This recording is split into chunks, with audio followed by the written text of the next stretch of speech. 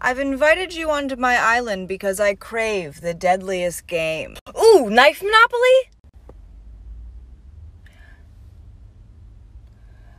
I was actually going to hunt you for sport, but now I'm really interested in what knife monopoly is.